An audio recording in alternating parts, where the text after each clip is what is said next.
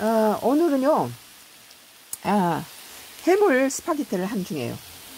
이 전복 넣고, 예, 새우 넣고, 어, 동태살을 넣고, 버터에다가 양파하고, 어, 애호박 넣고, 또, 이번, 어, 그, 여름에 예, 땄던 토마토, 토마토를 좀 익히는 중이에요.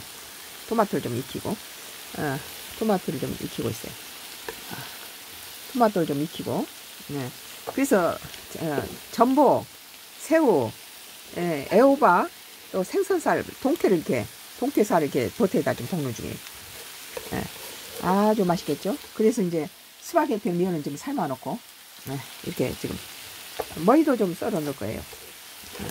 머리는 이렇게 써놓으면 좀 다이어트가 되겠죠? 음.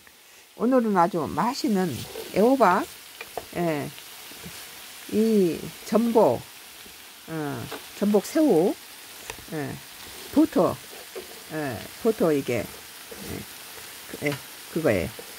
예, 토마토 어, 넣은 음, 스파게티 만들 중이에요. 아 맛있어요. 아 아주 맛있어요. 음. 아, 지금 여기다 이제 다 하고 난 다음에 여기다가 버터를 이제 예, 지금 넣어서 야채 넣어서 버터 볶고 있는데요. 음, 음 맛있어요. 이 동태살도 좀 넣고 아, 아주 맛있는 음. 아, 전복, 새우, 아, 동태살, 생선살, 아, 스파게티를 좀 하려고 준비 중이에요. 아주 맛있네요. 여기다가 이제 생선살 버터에다 다 볶고 애호박도 좀 넣었어요. 애호박하고 양파.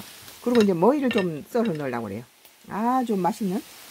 어, 여기다 이제 잠시 후에 예, 스파게티 면을 넣을 거예요.